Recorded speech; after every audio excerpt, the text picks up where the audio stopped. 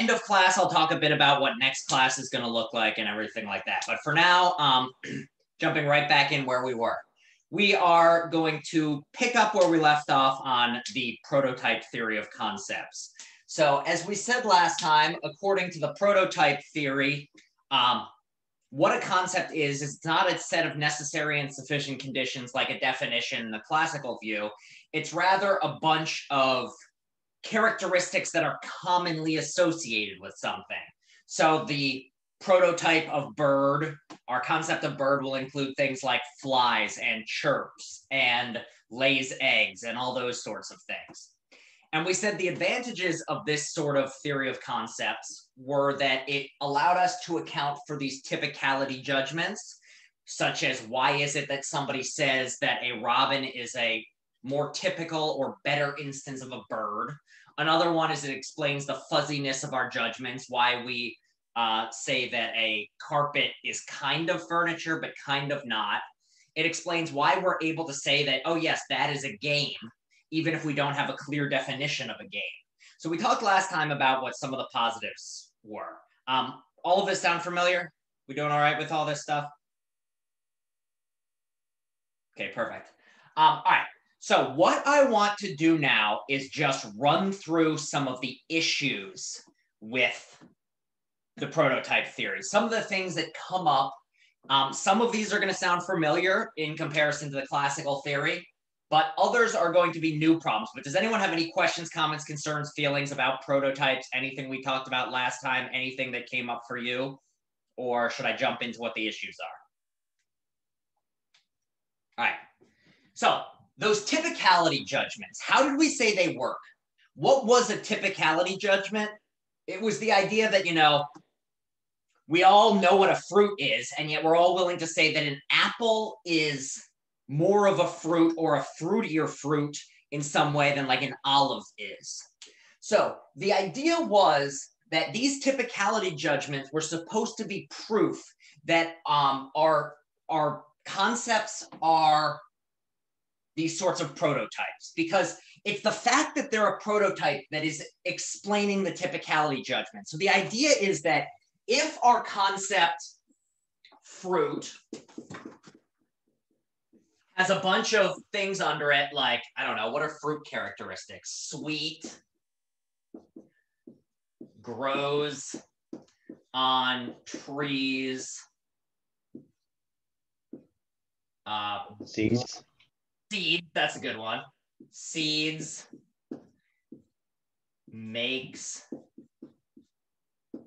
juice, etc. So if this is what our concept is, this list of conditions that is not necessary, but that an ideal or prototypical fruit has, we explain why some types of fruits are more easily identified with fruits than others or more fruitier. So for instance, the idea is that, you know, an apple fits more of these characteristics. It's got seeds, it grows on trees. A raspberry has no real seeds. You can make raspberry juice, but you don't do it as often. It's sweet and it grows on a bush, not a tree, so it's less fruit-like. And an olive doesn't fit like any of them, so it's very low on the scale. So that's supposed to explain the typicality judgments. That's the account of it. Now, if this is right, there should be some concepts that we don't get typicality judgments for because there's a handful of concepts that it seems like there isn't going to be a prototype because rather these are the handful of concepts that we do have clear definitions for. We've talked about some of them already. What are the exceptional concepts that we have very nice, straightforward, clear definitions of? What domain or what what department in school might you find these types of concepts, Marie? Math. Yeah, um, math. So we've got things like math, like there's just a definition of what an even number is. What's the definition of an even number? Divisible by two. What's the definition of a triangle? I need a sip of water so somebody else can define triangle. Um, or just do it in your head. Three sides, 2D. Yep, 2D, three sides, that's it. Uh, so what we find is in these cases, we shouldn't expect any typicality judgments because everybody knows that to be an even number is just to be divisible by two. However, what has been found in the lab? What is the actual evidence that's been found when you ask people, here's an even number. How typical is this of even numbers? People are more likely to say like eight is an even number over yeah. like 34. Yeah, people are going to say, no, no, eight is a much better even number than 56, or eight is a more typical even number. And just like with the typicality judgments, it's not just that people say this, they're also quicker to recognize that eight is an even number than that 2,746 is an even number. Um, they're also going to uh, make fewer mistakes with the smaller numbers, the ones that are more typical. And the same thing with triangles. If you ask somebody which is a more typical triangle, this or people generally say, well, that's a terrible triangle. But if it were actually triangle shaped and where I were actually a computer who could draw, like people will generally say this is more triangle like or more a more typical triangle than that. Well, this is a problem for the prototype theory. Why is this a problem? Well, because the prototype theory is saying that the reason we get the typicality judgments comes from the structure of the concepts themselves. So that means the only place we should see them are in the concepts that don't have clear cut definitions. And yet, when we look at these other ones that we have good definitions for, we still get the same sorts of typicality judgments, which suggests wherever these judgments are coming from, they're not coming from the nature of the concepts themselves. There's something else going on here. Does the nature of that argument make sense to people? It's basically a um, lower scale in the categorization scale. So um, the idea is that uh, Joe, I'm not sure. I, I looked. I forgot to look at my um, chat for a second, so I'm not quite sure what your uh, what your comment is on the. Oh, I'm mute. Sorry. Um, no, I was saying um, this is a problem because uh, the two of these they all they would get the same score on on the scale, and yet one is considered more of a triangle than the other. Yeah, exactly. If you were doing it, if our definitions were the way they really were supposed to, and if you ask people which of these is more of, or um, what's the definition of a triangle, they'll just say three sides, three angles, and 2D. And you'll ask them something like, so can something be more or less of a triangle? And they'll go, no, no, no, it's either a triangle or it isn't a triangle. And yet they still have these typicality judgments. So as Joey said, we shouldn't be expecting these typicality judgments. If um, if our typicality judgments are actually tracking the nature of the concepts, then we shouldn't get any difference between this and this. So whatever's causing the judgment difference is not the nature of the concepts, or that's how the argument goes. The argument's supposed to go, we have these judgments in places we shouldn't, which suggests that whatever the judgments are tracking, they're not tracking the structure of our concepts, they're tracking something else. Now, of course, this raises an obvious question, which is what? If they're not tracking this, what's the, a question that's going to come up?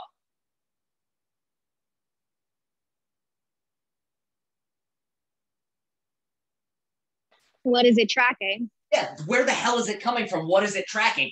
And at this point, this is like one of the, the major questions of just like, nobody quite has an answer to this. And one of the things is that um, prototype theorists at this point have tried to kind of, because the prototype theory gives some explanation of this, Well, if you get rid of the prototype theory, you have no explanation. People have tended to hang on to the prototype theory despite this sort of issue and find other ways of explaining it or try to keep this. And what I want to talk about at the end of class, after we've talked about all the worries, is this idea of a dual theory that some people have come up with which is combining a prototype theory with a different theory to try to get more of an account. But that's the first thing, like that's the first issue that comes up is we have these typicality judgments, but according to those who don't like the prototype theory, well, it's not tracking what they say it is. Again, we'll come back to whether that's right or not. But any questions on this first issue? Are we doing all right? It's the, the nature of the argument. All right. So that brings us back to ignorance. This ignorance worry should look familiar. Um, why? Well, it's the same ignorance worry that applied in the case of the classical theory. So um, because I'm tired of hearing my own voice, uh, anyone want to try, or as a group, to try to reconstruct what the ignorance worry was? This was the thing that had to do with smallpox and measles. Anyone remember how the worry worked? Isn't it, even though we have some sort of concept for it, we don't really know what it is? Yeah, the idea is that it seems like we have concepts and one of the things these concepts are supposed to do is allow us to have thoughts about things in the world. So my why do I get to have thoughts about smallpox? Well, because I have a smallpox concept. And by activating that concept, I have thoughts about smallpox. The problem is, it seems like if we actually look at what's contained in my smallpox concept, if we say it's a definition, well, what I know about a smallpox isn't going to differentiate it from every other disease out there that involves like discomfort and maybe death and small little pustules on the body. Um, so the issue is we don't know enough about smallpox to have a definition that would allow us to have thoughts that separate thoughts from our of smallpox from thoughts of measles. So that's how the worry worked in the classical view, is that we're supposed, our concepts are supposed to explain why we're able to have thoughts about things in the world. It's almost like we, our thoughts pick out the things in the world because the concepts that are, or the um, properties that are represented in our head correspond to things out in the world. But the issue is, in many of these cases, we don't know enough to pick out particular things as opposed to something else. All I know about smallpox is I don't know a disease, and measles, I don't know a disease. Well, the issue carries over the same way with the prototypes theory. So, according to the classical theory, it was supposed to be a definition. But now, smallpox, what, what would a prototype theory say our concept of smallpox consists of? What is it what properties go with that? What are the characteristic features of our prototype of smallpox? Disease, sickness. Yeah, it's going to be sickness, symptoms, um, doctor, shock, fever. Well, once again, we have an issue of this isn't going to be a prototype that picks apart um, smallpox from most of the other diseases we have. So in the same way that we, we have the exact same problem being carried over again, because once again, we're trying to say that what allows our concept to be about something in the world is because the thing out in the world satisfies enough of the properties that are like represented as defining that concept as to differentiate my thoughts. So like, you know, why isn't my thought of a computer a type a thought about a fruit? Well, because my computers aren't sweet, they don't grow on trees, they don't have seeds, they don't make juice, etc. Well, in the same way, we'd want to say then that my definition of smallpox is sickness, doctor, fever. Well, then how am I able to think smallpox isn't the same thing as measles when all I have to go off of are these very, very vague sorts of things? So the ignorance issue is again just that we like our thoughts. We think when we're thinking about things in the world, it is a precise, accurate thought. Like when I'm having a thought about measles, it is different than my thought about smallpox. But the issue here is it looks like we don't know enough about measles or smallpox. Yeah, it's like there there's presumably some unique characteristics, but I don't know what they are. And if my knowledge of their unique characteristics is supposed to be my basis for having thoughts about those things. The fact that I don't know those unique characteristics means that, in some sense, I can't have thoughts that differentiate smallpox from measles. And yet, most of us want to say, when I tell you my great grandpa died of smallpox, I'm not accidentally saying my great grandpa died of measles. I, in some sense, know the difference. And it looks like this account here isn't explaining what the difference is in enough way. Um, uh, I have a question. Great. Yeah. Couldn't you say like the reason why you know that smallpox and measles are not the same thing is because they have different terminology. So like it's not like um, most diseases have like two names. Or- mm-hmm. So here's uh, I think this is a great idea, and this is one that a lot of people try to go with, where um, you want to say that it's something about like the name that's tied in with it. The issue is that sometimes um, you want to be able to, well, there's a couple different worries here. And if anyone wants to jump in, and I'm just going to play devil's advocate here because I don't think there's anything, um, I don't think there's anything knocked down to say in response to that, Marie. But I do think like the sorts of arguments that some people give are things along the lines of um, sometimes it looks like we have different concepts, and in some sense, we know they're different concepts, even if we have a single word that picks out them both. So, for instance, um, I don't know, hepatitis. I think there are different types of hepatitis, but I don't know what they are. Um, so you might want to argue that in this case, when you're having a thought about one type of hepatitis, it's not the same as a thought about the other type, even if you have the same word for it. Now, I'm not sure if that's fully satisfying of a response, but that's one thing people have said. Another, I think, is actually the uh, the worry you you talked about a couple times ago of just like language itself being different for different languages. So if we're tracking too closely on um, on the words themselves, we might have trouble when we get into a language that uses different words. So, for instance, if you've got a language that just calls all feverish diseases fever, then do we want to, but like somebody thinks of them as different? Like you, you know that the fever that causes people to die is a different fever from the one that just makes them mildly sick, but you just call it all fever then you might again have that sort of worry. Now, I to be clear, I don't think that's the end of the story. I think somebody could then jump on this and push back. But I think that is generally the way that people people get a little worried about language because of the cultural differences and because of the the words not perfectly always matching on to what they refer to. Any other questions, comments, concerns on the ignorance one? I have a I have a question and comment. I don't know if it's about the ignorance. I just in general about the two. Um, I, I feel like you know when I'm listening to this, it makes me think about like I guess a lot of concepts can't represent things that we don't like the ever evolving world, like mm-hmm. technology. Like technology didn't exist, let's say, however many years ago.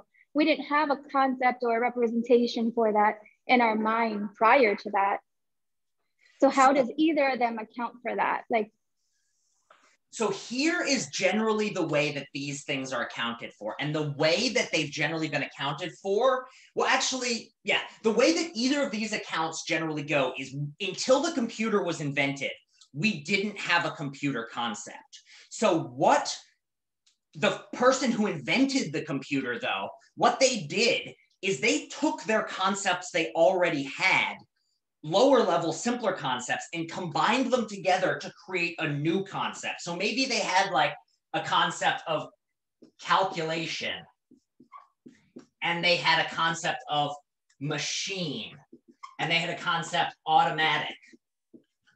And what they did, um, either the prototype or the classical view, what they did, this person who invented the computer, is they smushed these things together and came up with a new concept, which had these parts together. And this right here is now our computer concept. Then what happens is this computer concept, when other people learn this concept, what they do is they put together these simpler parts, or what they do is they come into contact with a bunch of computers. And by doing that, they then identify what are the common prototypical features of computers. So the idea would be that what you do is you take the knowledge you already have or the things you already know, combine them together to create a new concept. And then that new concept can then guide your behaviors in the creating of this new computer. Or it can be the sort of thing where now new people can learn this concept by coming into contact with the object that you've created. So it's just going to be building up from a simpler version to a more complicated version. Now, I think there are a lot of worries about this of things like we talked about a few times ago, which is like it has to, it has to, uh, it can't go on forever. It can't be all the way down to the bottom. There has to be some simplest concepts. And then you have a question of where did those come from and what are they? Another worry you might have is um, things along the line of, give me one second to think of another worry but I guess I feel because it like kind of still overlaps with the ignorance thing because it's there's an ever evolving world. So like there was never a COVID 19. Mm-hmm. Yes, there was SARS, there was coronavirus, but there wasn't this genome that we are supposedly infected with now. So, how do they account for an ever evolving world in prototype or um, classical theory? So, the ideal would, on either the prototype or classical view, what they'd have to say is that there's something about your concept of COVID 19 that allows you to distinguish it from other viruses or other sorts of things. So maybe in your prototype of COVID 19, so a classical view would say something maybe like built into your idea is caused a pandemic in 2020.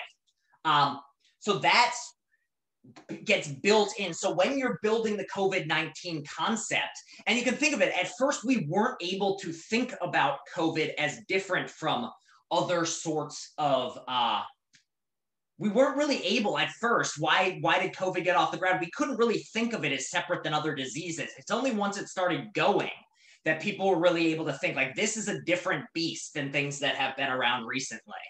And so the idea would be um, that you would have to say that there's something about your thought that differentiates covid-19 now I think what you're pointing to, though, is like the core issue of if you recognize the ignorance worry, then really they don't have a response to this changing world phenomenon.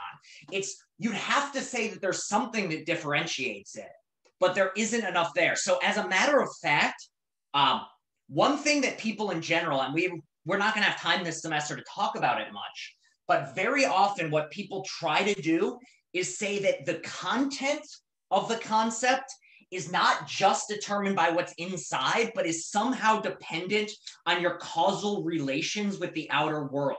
So it's not that your concept of COVID has all the COVID properties. It's rather that the fact that you have something in your head was caused by the actual COVID 19 little virus. Now, how you cash that out and how you can say that, like, there this like weird metaphysical relation in which you're being in response to actual covid makes your thoughts different than being in response to say like SARS or the flu. So there's a lot of tricky questions here. But what you're pointing putting your finger on here, Grace, is that if you go with the um with the either the classical or prototype view, you have to say that the way people respond to the only way people can respond to an ever changing world is by just combining smaller concepts they all already have. And they're you're just assuming like they're just saying. And matter of fact we are able to get every thought we have today out of those smaller concepts. But i think there's a genuine worry here that you're pointing to which is that's not necessarily obviously true. Like it could be the case that if we want to explain how we interact with new things and have thoughts about things which have never existed before, we need to bring in other considerations like what have we interacted with? Um, who have we talked to? And that sort of stuff. Was that um, responsive to your question? I think so. Okay. I think so. I have to think about it. But it's just, I feel like, like both of the theories just don't account for the varieties in the evolving world because they're just so kind of definitive even though prototype is not supposed to be definitive, they both have clear definitions. Yeah, they have a set of things that you have to or requirements, right? Another thing that um, somebody might say on this account is to kind of go back to uh, the point that Marie and Holland had a couple classes ago. You could say that maybe there's some type of mismatch here. And as a matter of fact, maybe there are some things in the external world that are just beyond our ability to think them properly because we lack the conceptual accounts. Um, so, for instance, like how many of you have ever tried to understand string theory in physics?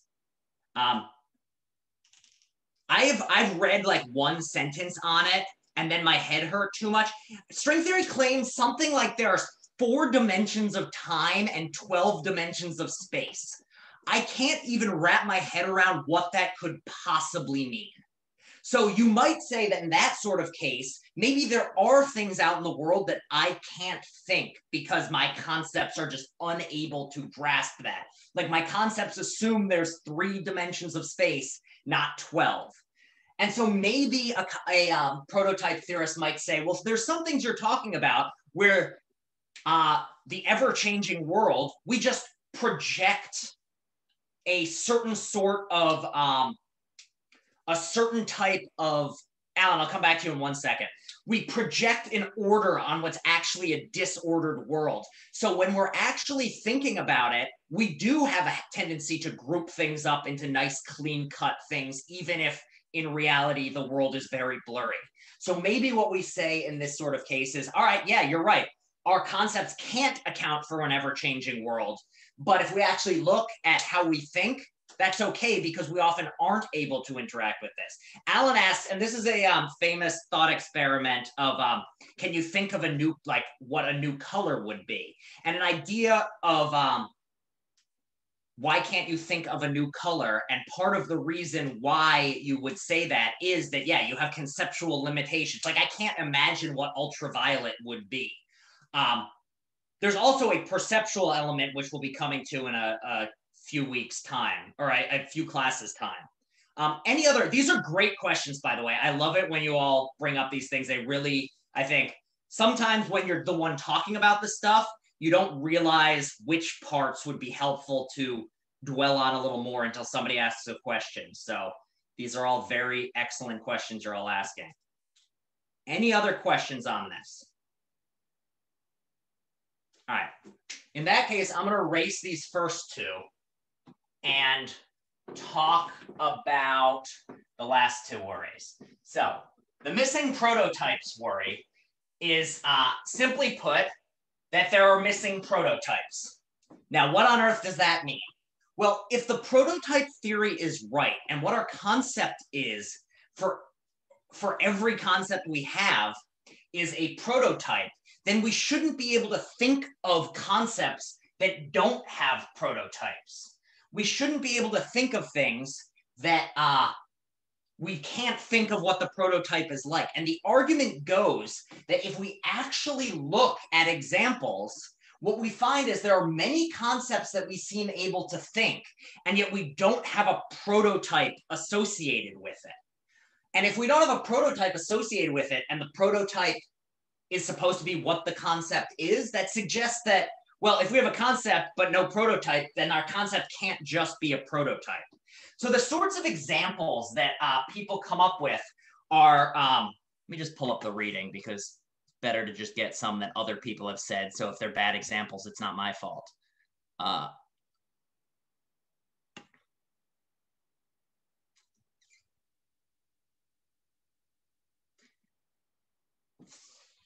Thirty-first century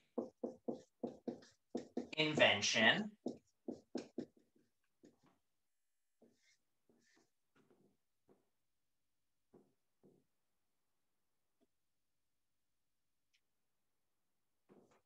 not a dog.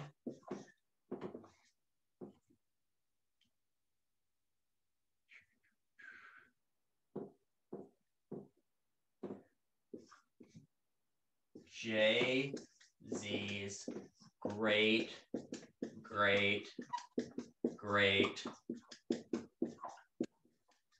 grandma. So, are we able to have thoughts about these things? Can you think of what a 31st century invention might be? As in like the year 3000. Um, yeah, flying car, something along those lines. What about your concept not a dog? Like what you, we can think about not a dog. We know some things about not a dogs. They're not dogs. Um, we know that's true because it's in the definition. What about Jay Z's great great great grandma? Um, we can say things about it, her, like Jay Z's great great great grandma was not the same person as Jay Z's great great great grandfather. So we're able to think about these things and we're able to categorize it. Like we can use this to say, this is not Jay Z's great great great grandma. This is not not a dog. Well, this actually is a not a dog. this is, if I were to pick up a dog, it would be not a not a dog. So the idea is that it looks like we're able to have thoughts about these things. And if this is right, and our thoughts are built on concepts, then there should be, in some sense, concepts for each of these things. And yet, give me a prototype of what not a dog looks like. What is a not a dog? Like the prototypical not a dog. Well, that doesn't really make sense. I mean, that's that's one prototypical not at all. Here's another prototypical. Like it doesn't seem like there's a prototype for this. Or Jay Z's great great great grandma again doesn't seem like there's a prototype. So the argument goes if we actually look at human thinking, if concepts are supposed to be what grounds our thought, and we have a lot of things that we seem to have concepts for because we can have thoughts about them, um, but there's no prototype that goes with it, the concept must be something other than a prototype. That's how the argument goes. Now, I'm going to put my cards on the table and say I'm not entirely convinced by this argument um, for a couple different reasons. But if anyone has any questions about this or has some concerns of their own, bring them up. Uh, feel free to bring them up now. What are some worries around these cases? I feel like it's just kind of like going backwards instead of building forward you're kind of breaking it down. So here's here's one thing that strikes me is like there's something that feels incredibly artificial about these in a way that like you're instead of just starting with like a complete whole you're like breaking them down into weird parts sticking them together like um like there's something like the dog in some sense and this is just a lot of intuition gut check stuff. But like it feels to me like i have a concept not a, a concept dog which is stored in my head and i use and have used since i was a child. It feels somewhat artificial to say there's something equivalent not a dog that's also stored in my head. Or i have an idea of um, what an invention is like. Like i have a prototypical invention. Like that seems like maybe something i would have a concept for but is it really the case that it's the same sort of thing, this concept 31st century invention? Or like I have a Jay Z concept, I have a great great great grandmother concept, maybe even not that, I have a grandma concept, or I have a mother concept. But there seems something very artificial about these sorts of things. Um, does anyone else share this kind of gut intuition feeling with me? That there's just something, there's some important difference here between the prototypes that seem to be missing and a lot of the cases of concepts that seem to have prototypes attached to them. Like there's something more primary or core about bird than not a dog. Does anyone else share this or am I alone having this tough feeling? It just seems like if we're thinking of the building blocks of thought, then bird feels like a building block. Not a dog doesn't feel like the same sort of building block. Yeah, I feel like Not a Dog has like many different representations. So it's not an equivalent of like one concept. It's like many concepts. Yeah, it seems like there's there's just something weird about it where it just feels like, yeah, it's not a building, but it's a this corresponds to a lot of different concepts. Um, now there is so if you share this feeling with me that there's something weird about these concepts that somehow set them apart from the more primary ones. There is still a problem.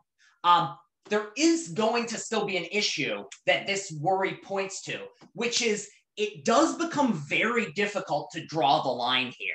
Like, why do we get to say that dog is a primary concept or bird is a primary concept or left as opposed to right is a primary concept? But we don't get to say Jay Z's great great grandmother is. What about like if we get rid of this, do we get to say great grandmother is a primary concept? Like where do you draw the line? If we're supposed to be understanding like how the human mind works and what the building blocks are like, it does seem like we start to have a problem of well, we, we can't just arbitrarily decide to throw out certain concepts as artificial and others as not artificial. Um, one way people might want to go is using the language. So you'd say, like, if there's one word for it, then it's a primary concept. If there's not one word for it, it's a complex concept that's just like built on the fly, doesn't count. but that goes back to the same worry Marie had two classes ago of, well, what do you do with a language where there's one word for both dogs and wolves? Like, what do we do there? Um, so does everyone understand though? That got a little bit me just like staring up at the sky and uh, having concerns of my own. So I just want to make sure that I'm not just like rambling to myself here. Grace? I feel like the not a dog thing makes me exactly think about what Marie is saying about language because like we're defining what the representation of what a dog is by what we call a dog. You know, so I, I don't know. Like I guess it, like then language, I feel like what she was saying goes so much back into like representation, you know, like building blocks in our mind, but then we we pair it with language and here's another worry about that, just to, to jump on this, which is there's this strange issue where um, we, where with language, like there's a sense in which what becomes a dog is what we put the word dog on.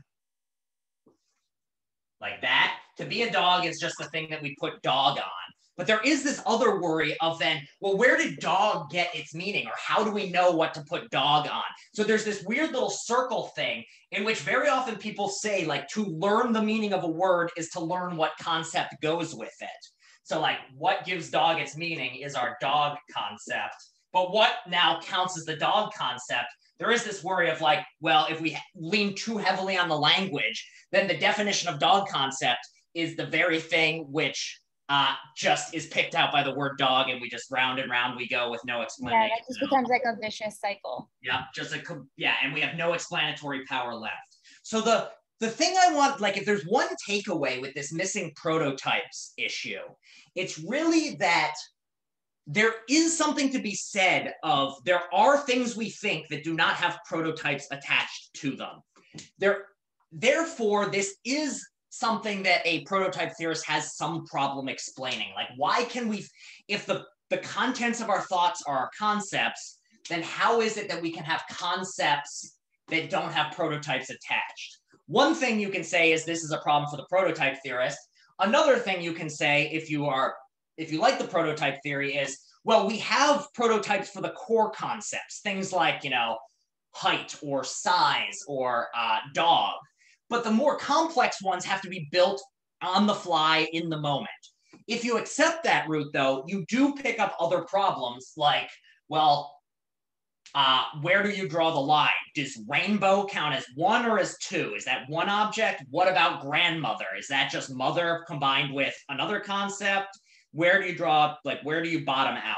I don't think there's a good answer to this question. I think it's a very open ended thing. I just wanted to highlight the worry with it. Um, any others on this before I cover the last one? I just want to say this makes me think of like cognitive cognitive dissonance, like where you have two things in your mind, you know what it, but you know, yep. you have two things in your mind fighting with each other. And it kind of makes me think of this and the concepts. Does that make sense? So in in some, I'm not sure if I'm totally grasping what you're pointing to. I think I'm still trying to form why I'm wondering if talking about the dual stuff later on at the very end of class, because basically what the dual theory says in this sort of case is just let's take the good stuff of prototype theory and let's take the good stuff of the classical theory and just smush them together. And then what can happen is you have cases in which you literally have two competing concepts. And what is going on in our thought is just like in a cognitive dissonance case. Behavior gets explained by what happens when these two competing bits get smushed together, and we find something that's on the borderline that our um, our literal definition applies to nicely, but our prototype doesn't. Why is this the case? How does that explain thought? So I'll come back to that as soon as we finish um, the compositionality. Sorry, not missing prototypes. Compositionality is the last one. Um, I'm going to try the book or the reading got into a little bit of mathematical jargon about the compositionality stuff. And I don't especially, you know, it's nice out and I don't want to smash anyone with too much like compositional mathematical set theory jargon. So I'm just going to stick this in the most basic way possible. First off, how many people of compositional? How many people have seen this word before? Compositional. Uh, it's a good word to know. Uh, so I just just want to define it quickly. What does it mean? Anyone know? Anyone want to give it a, a stab at defining it?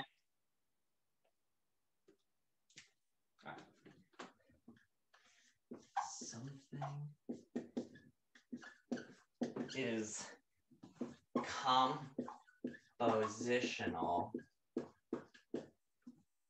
if its nature is entirely a product of its parts and how those parts are put together. So something is compositional if its nature is entirely a product of its parts and how those parts are put together. So this is a really fancy way of basically talking about things where if you know what they're made of and how those things are arranged together, you know its very core or what it is. And so a classical case that's like this is chemistry. Water. What is like a pure water molecule? Well, what is it? Anyone remember? Yeah, H2O. So it literally, it's shaped like this. It's two hydrogens and an oxygen. If you know what the parts are and you know what uh, how they're arranged, you know the nature of oxygen. I mean, or I mean the nature of water. Like that is what it is to know water. Other ones are um, sentences, especially in a computer language, where if uh, the meaning of an entire sentence is just the meaning of its parts and how they're arranged. So to give a um, a simplistic example, John likes Sue. Well, if you know what type of liking they're talking about, you know who Sue is and you know who John is, and you see that the order is John likes Sue, then you know that John likes Sue, you understand the whole thing. That's all compositionality is, is that you can combine things together and understand a larger whole entirely by understanding the parts and how they're put together. Now, why compositionality comes up in this context is that thought is compositional, or at the very least, it seems compositional to a high degree, because one of the amazing things about human thought is that we're able to have thoughts and understand things that you've you can understand something you've never thought before, and you can even come up with thoughts that nobody's ever thought of ever in human history. Anyone want to give it a stab? Somebody try to get the entire class to think of something that nobody's ever thought of before in human history. Um, I bet you you can do it if you just like put a little thought into it.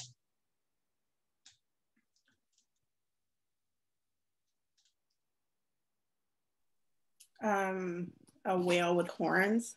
Yeah, a whale with horns. I've never thought of a whale with horns.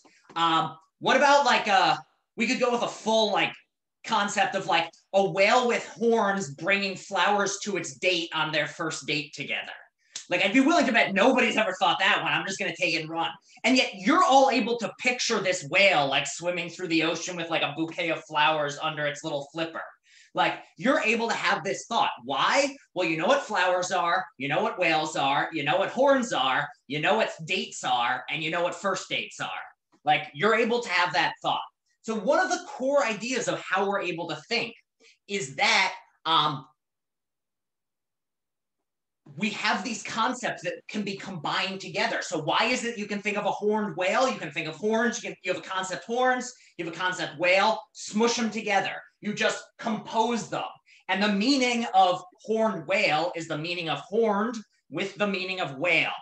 Um, yeah, a narwhal would be something with one horn. Um, so I guess a narwhal that had two horns would fit into our definition of a a uh, a, a, a, horned whale, but yeah, goat horns. Or like we can imagine like a whale with a monocle. That would be pretty cute. Like just like a whale, like a giant whale eye with like a, a little tiny monocle. Um, anyway, I'm now I'm off the rails at this point. Um, so the idea is supposed to be if we're going to explain thought, we need to explain that how these concepts get combined together and why if we're able to know what something with two horns is and why something that's a whale well what's the meaning of something that's got horns and is a whale, we just smush them together. You take all the horn things and all the whale things, you understand what they have in common, then you smush them together. So that's generally how we think of it. You know, you know what red means, you know what uh, fruit means. So now compose red fruit. And on the classical or definitional approach, it's very easy to explain how this works.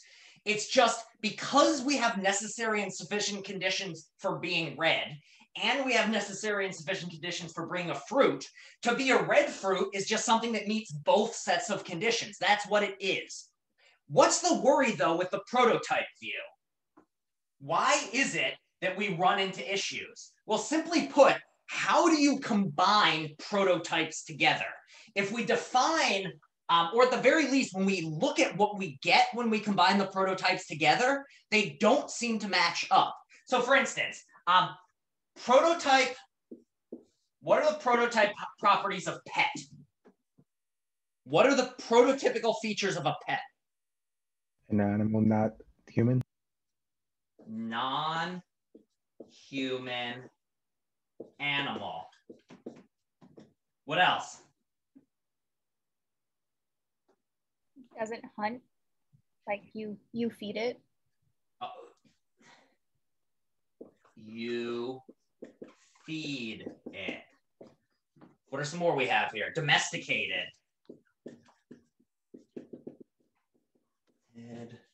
Um, any others anyone feels are really characteristic of pets? ownership? Yeah, there's some sort of ownership involved. So what does our prototypical pet look like? If we're coming up with something that fits these, what do we end up with for a prototypical pet? As a matter of fact, it actually looks like you all gave more of a classical definition for pet, which is just interesting. Um, but when you think of what would the prototype for a pet be? Like if I were to draw the prototype, how would it look? Furry. Yeah, it would also it would probably be a dog or have fur or etc. Now, uh, what what's the prototype prototypical characteristic of fish? Scales. Yeah, scales. What else? What else do we? Fins. Gills. Gills. Is gills one L or two L's? I'm just gonna put, I'm gonna put six. That way, I'm just guaranteed to be wrong. Um, what else do we have? Swims, I think. That's pretty prototypical. So water, they live in water. That is definitely a prototypical, but not necessary feature of fish. Is anyone familiar with the lungfish? It's just like weird fish that is able to survive out of water for like hours at a time and will like go like flopping along across the desert to get from like one water thing to another water thing. So like there are fish that don't fit. So this is actually a very nice. Also, there's some fish that don't have scales. Um, Anyone know what fish don't have scales? Eels. Uh, I think it depends on the type of eel. Um, but I know the ones that I know for sure don't have scales are sharks and rays. So if you've ever a weight conscious fish, well played, Alan. Well played. Um, but uh, if you've ever like rubbed uh, shark skin, it is uh, it is quite sandpapery and not scale based. So yeah. But anyway, this is our prototypical fish. Here's our prototype pet. Now, we can also, however, compose these together. We can imagine a pet fish. And what is what do we get if we get a pet fish? Well, it sure it looks like a goldfish. It's gonna look, you know, something like this, this really big goldfishy eyes.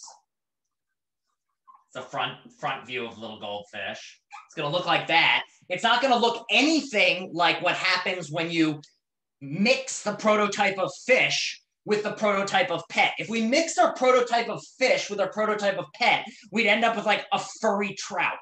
And that's definitely not a goldfish. So the worry is that we need compositionality to explain how thought works. It's one of the key ideas for why human thought is productive and we're able to think things that no one's ever thought before. But if we actually think about it in the case of prototypes, it gets really difficult to understand how compositionality would work. Why is it that we can combine fish and pet? if the only thing we have to go on are prototypes? It looks like the what you get when you combine pet and fish into pet fish. Your prototypical pet fish is nothing like the prototype of fish mixing mixed with the prototype of pet. It's more complicated. Now, does that mean we couldn't do it? We couldn't come up with some complex process of how these things got mixed together? I mean, it's possible. But remember, the goal is we're supposed to be giving something that's computational, something in which a computer system could be programmed to run this and tell us how combining pet with fish gives us pet fish. Other ones, like you can imagine uh, any other sort of combination of different things that there are prototypes for, but the result is not in any way similar to what would happen if you just took the middle of the two prototypes. So does everyone understand how this works? Thought seems to work by combining things together. And it, if anything, it seems to work in the way that the classical theory gets put together. Like if we don't go with prototypes, if you just go with the defining features of fish, um, if we actually give like this part of blah, blah, blah animal group, then it seems like we have a very nice explanation for how we can have a uh, pet and fish. Well, if you fall into the right evolutionary grouping, such that you fall into the fish camp, and you are a non human animal that gets fed by an owner and you're domesticated, well, then we have an ex- nice explanation for what a pet fish is. It's just the middle of these two, anything that falls in both categories. If you're the prototype theorist, though, it's much more difficult to explain what's going on here. And it's the sort of thing that, like, to understand how it would work, you need to have a pretty good math degree. And um, there as of now no good theories of exactly how it works the things that i didn't necessarily need you all to read in the reading were some of the best attempts to give mathematical explanations of this so if you want to dive into that or talk to me about it more i just you know it's nice out and i don't want to subject everyone to having to talk set theory while we're um so could it technically be simplified by classing anything as a pet if you own it and it's alive um, so I think the so here's actually that's a really great question, Raven.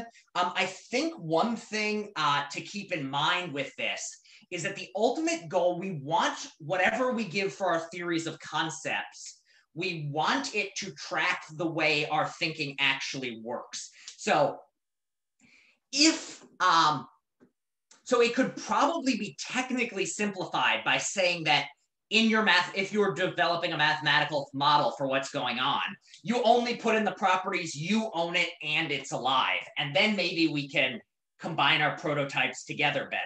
The worry is that if we strip things down that much, to what degree are we actually giving an accurate description of the human mind instead of such a stripped down version that it's no longer actually going to give us any insight into the way the system really works? because if you if you take out too many complicating factors, what you end up with is uh, mathematical models that don't accurately capture the thing they're supposed to be capturing. Now, I think it's going to be a practical answer. Like it, it might be, I've never done the mathematical modeling on this. It might be that if we start with that simplified sort of definition, maybe we could give an account for how fish and pet get mixed together. But in terms of coming up with a general process in which two uh, concepts get composed together, it's unlikely that we're going to be able to come up with simplified definitions for each and every one that could then be stuck together. Um, also, like pet bird would be kind of a disaster because I feel like the prototypical pet bird looks definitely different than the prototypical bird because the prototypical pet bird I feel like is generally a parrot and it's generally owned by a pirate. But um, all right, are there any more questions on these worries? Uh, all right, so what I want to do now is just briefly talk about the dual theory. Um, because what the dual theory is, is it takes parts of the prototype theory and the definitional theory and uses it to get around some of the problems. So the prototype theory, so basically what the uh, one version of a dual theory. Basically, any theory that combines two parts is a dual theory. But this particular dual theory is going to say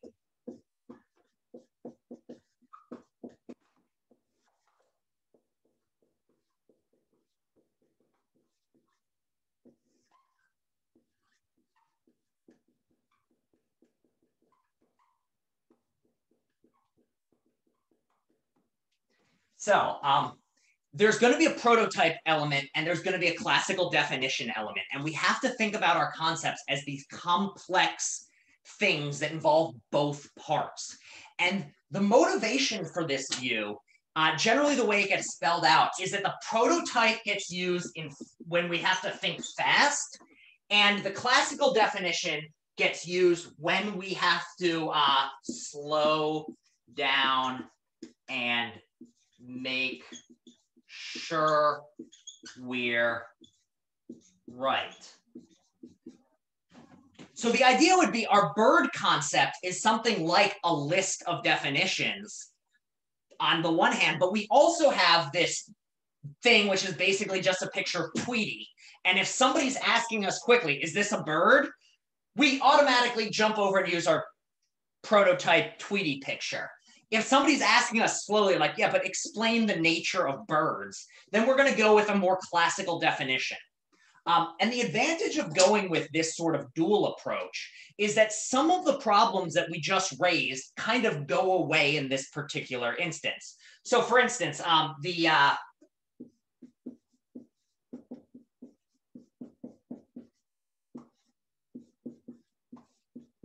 you're able to explain if you say there are two parts, you're able to explain the typicality judgments while also explaining why people are still able to say that an even number is still an even number, even if it's 2 million and two versus just two. You'd say the typicality because we have a prototype of what an even number looks like, but we also have access to this other thing. Um, so that's it, it solves the typicality worries. It also solves the wouldn't that also work because like we have different ways of thinking? Like people argue that like there's a reptilian brain. So like if you have that then there both ways could work. so, so i was going to save this but let's just jump in because you brought it up marie um, another thing is that there is a lot of evidence that human beings think in multiple levels and we have different types of brain processing. So um, there's a lot of stuff about like lower level reptilian brain things, but there's also certain sorts of uh, studies that have been done in which when we give a fast answer, it generally, like the gut feeling we go with, is very often not the one that we give if we take the time to really think it out, which suggests that we, this idea that there might be two parts to it fits in with this more general idea that we have multiple thinking. So what sort of question am I talking about? Um, here's a question. I'm gonna write it down real quick. Uh, that and ball cost one dollar ten. No, this is written terribly. Here, does everyone have access to the chat? I'm gonna write this down in the chat so you don't have to look at it. All right. Uh, it's a problem. I want you to give me the first answer that jumps in your head. I'm gonna write this out.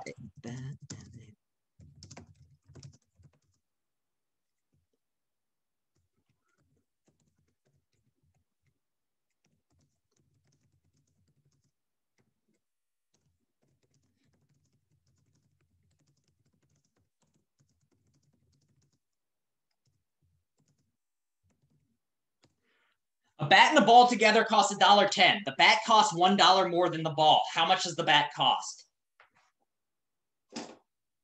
What's the first answer to jump into your head? The first answer to jump into just about everybody's head is that, that the bat costs one dollar. What's the actual correct answer? A dollar five.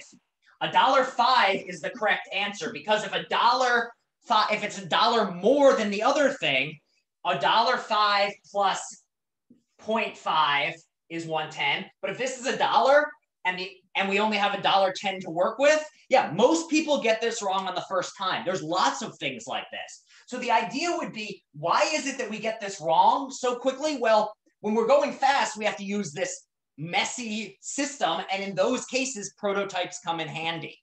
Um, so another a classic one would be something like grandma. Our grandma concept would have a technical definition of mother of mother or mother of father. But then we've got another one, which is just like your stereotypical cute little old grandma picture, where that lady might not, somebody who looks like that might not actually be a grandma, and somebody who looks nothing like that could be a grandma. But if I showed you a picture of like a 40 year old grandma and a cute little old lady sewing and asked you who's a grandma, you're gonna and ask you to answer quickly, you're probably just gonna guess that little old lady. Um, and that would be another way. So not only does it explain the typicality stuff, it does fit in with some of the other evidence of how human beings think and the ways in which we do, when we're asked to think quickly, make some sloppy judgments of error. Um, another thing it helps with is uh, missing prototypes.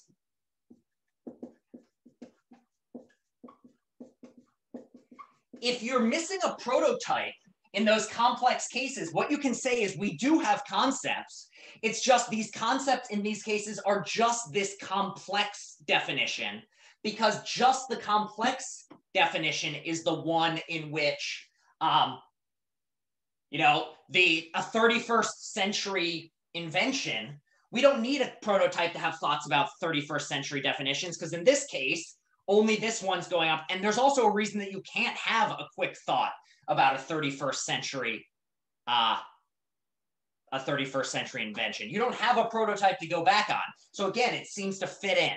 So there are a lot of benefits of and very often what you'll see like this is just a sociological fact about how people do science is if you've got one theory that people liked a long time, a new theory comes along that seems to be better than it, but then has problems, inevitably someone's going to try to see what happens when you stick them together. And so this dual theory has some benefits here of sticking the two parts together. That said, the dual theory is by no means perfect. And there's a reason why this article goes on and on into things we won't be talking about this semester. But there's a reason there's like five more parts to this article. Um, and some of the issues with dual theory are, well, anyone have any thoughts of what some of the issues might be with the dual theory, given some of the other theories that we've talked about? Well, what's one of the problems that came up for both of the other ones? Fuzziness? Uh, fuzzy. So one worry you might have is we are still, as soon as you bring a classical definition element back in, we do again have an issue of, well, then why do we have this fuzziness? If every case is supposed to have a classical definition attached, then we again, we by reincorporating the classical view with the prototype view, we seem to lose our explanation of fuzziness. We had a nice one, but now we don't have a nice clear definition. Um, so that's one thing. Or we have we now have too nice of a definition. As soon as you bring classical definitions back in, things are much less messy than they should be. Um, we get ignorance again because if we have ignorance problem over here and we have ignorance problem over here, you combine them together, the ignorance problem isn't going away. Um, anyone have any other things that pop into their head of an issue that might happen if you combine the prototype with the classical? I do think there is also a motivation of like, while yes, there's some evidence that we think in multiple ways, why motivate that these are the two ways we think in? I don't think it's a very strong objection, but I would like, like if somebody were making an argument for the dual, I want a little more as to why they think these two get stuck together in this way. Are there any more thoughts, questions, comments, concerns on this stuff? Would the conditions be a problem for the cl the classical conditions don't meet the prototype or? I think, well, wait, what do you mean by conditions? You mean like the, the definitional features? Yeah, like the necessary and sufficient part. Yeah, I think I think um, we are going to have another issue of so similar to the fuzziness. I think also by bringing the classical definition back in, we're get again going to run back into Plato's problem of like, why is it then that if we say there's a classical definition piece, why can't we give what those features are? Why can't we say what it is to be a game? Why is it that in this case we only have a prototype to go off of? Um, so yeah, that's again going to be another worry. So it doesn't save everything, but and so just as a matter of fact, the way that this stuff is going in the field is there is no one theory of concepts that everyone agrees on. Um, and it's actually an area, and part of the reason I wanted to talk about it is it's a very, it's still, it's been an alive area of research and discussion since the prototype theory stuff came out in the 60s and 70s, and people are still going and coming up with new theories and arguing. And just about every view still has proponents.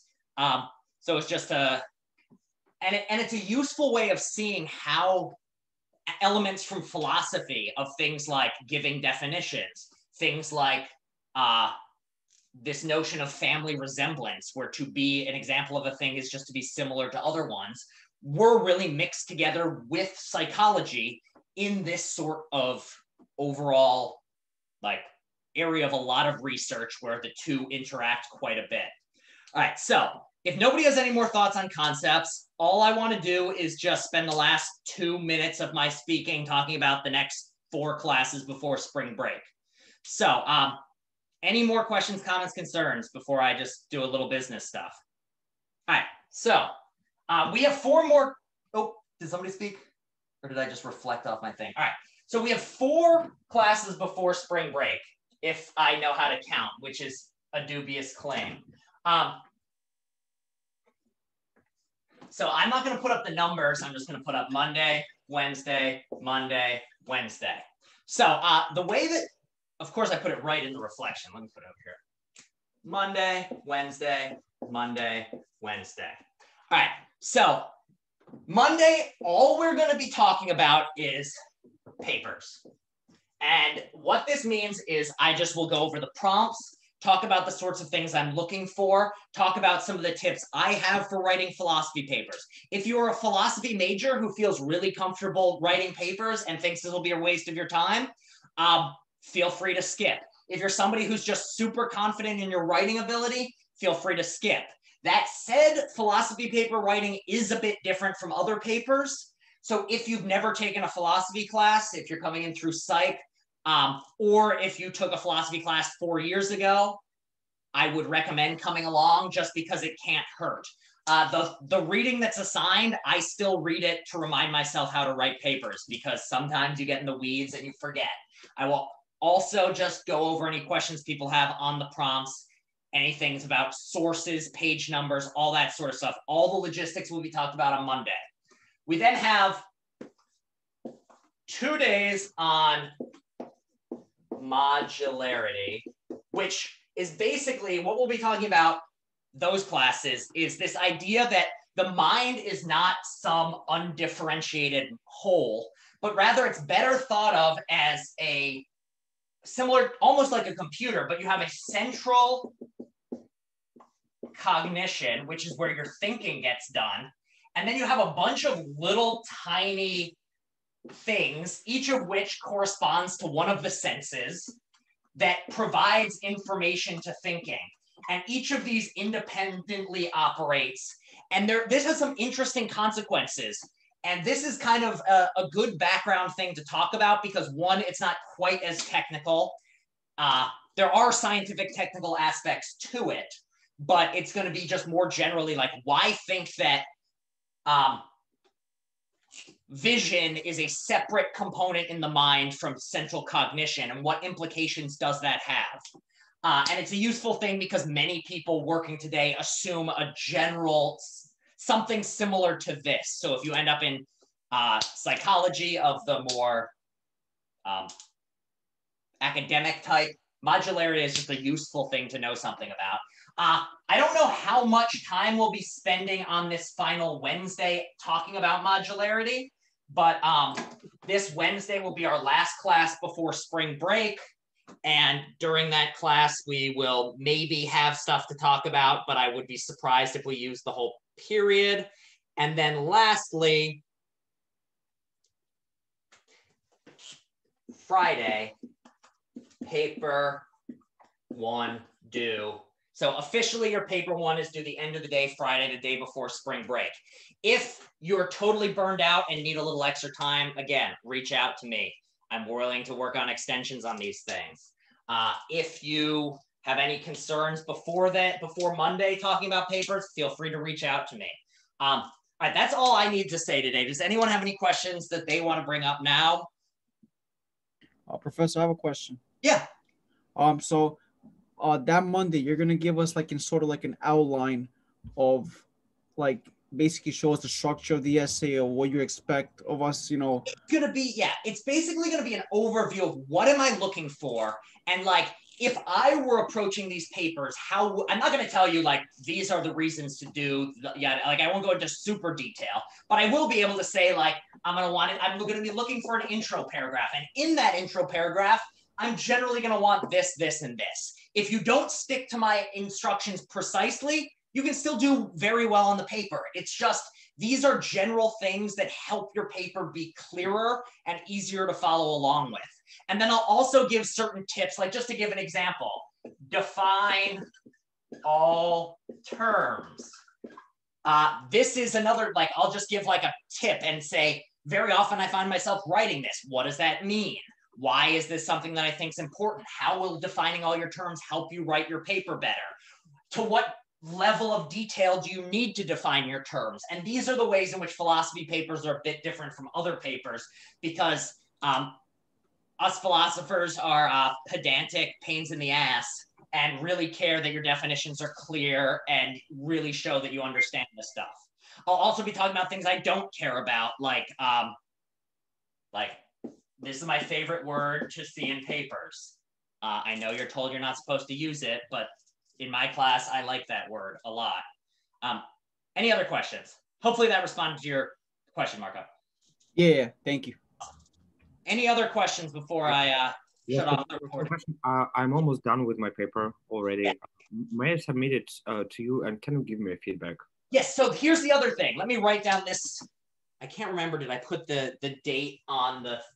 So I don't have the paper prompt in front of me right now, so I don't remember the exact date on it. But here's the thing with papers: if you want feedback on a draft on your paper, the answer is yes. I'm very happy to give you feedback, as long as um, you know. Let me just pull this up, so I actually have the. Uh, I'm not giving you.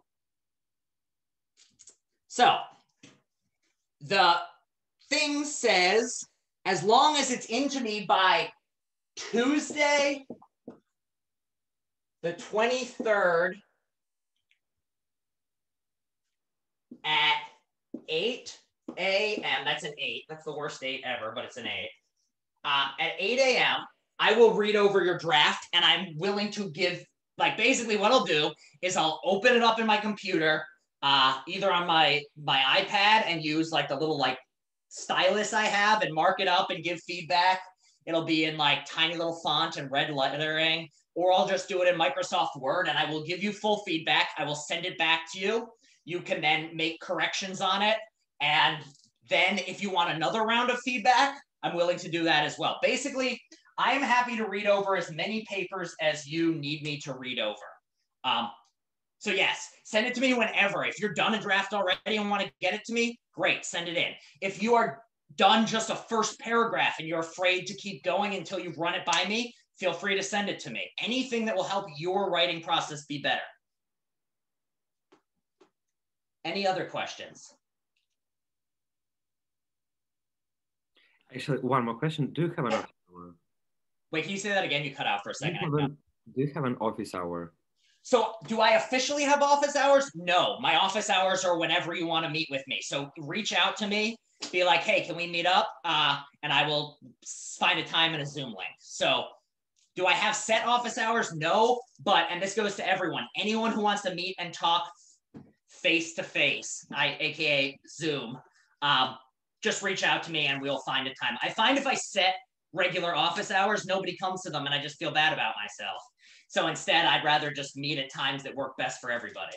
But I, I mean, like, and to be clear, like, I'm very flexible. If I'm not teaching, I will have office hours with you. Weekends, fine. You know, what is a weekend anymore?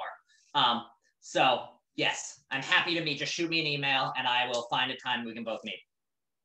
Okay, thank you. I just have a reconstruction. That's why I I'm I- I'm not ready just to turn on my video or audio. Yeah, no worries, no worries. Um, any last questions? Yeah, what is your uh, feeling for citations regarding the material we used in your in all of our class? I know Uh, it says if you use outside materials, make sure you cite. My citation policy on using uh, things for this class is, all right, you know what, I'm, um, pardon, I, I don't fucking care. I hate citations is the sh- long and short of it. If it's something from class, I'll recognize it and I, uh, I'm fine with that. If you want to, so if you're somebody who has other professors who are sticklers for this and you want to include citations, like practice your Chicago style, feel free. But if it's something from this class that you're citing, the only thing I ask is if you are using a quote, put the page just so I know where to find it. Um, and make sure that like you you're not taking it out of context or anything. Uh, but other than that, I really don't care. I really there are many people out there who care about this stuff who will teach you how to do it properly.